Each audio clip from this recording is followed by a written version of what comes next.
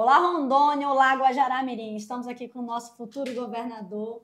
E assim, graças a Deus, vocês fizeram um trabalho maravilhoso no primeiro turno. E no segundo turno a gente vai fazer a diferença juntos, né, governador? É isso. A minha gratidão a você, minha gratidão a Guajará-Mirim, a toda essa região aí, Guajará, Nova Mamoré, Ponta do Abunã.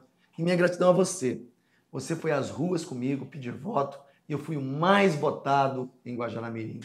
Por isso, Parabéns a Guajará por eleger você deputada, vai nos ajudar muito lá na Assembleia e a missão continua.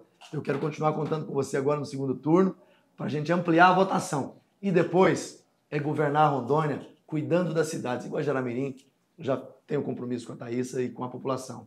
Nós vamos terminar aquele hospital, entregar para a população, mas nós precisamos de dar a Guajará-Mirim uma nova condição econômica, ativar a economia de Guajará. E a gente vai fazer isso junto, tá bom? Por isso, dia 30, 22, Marcos Rogério governador. E presidente Bolsonaro, Bolsonaro 22. 22, isso aí.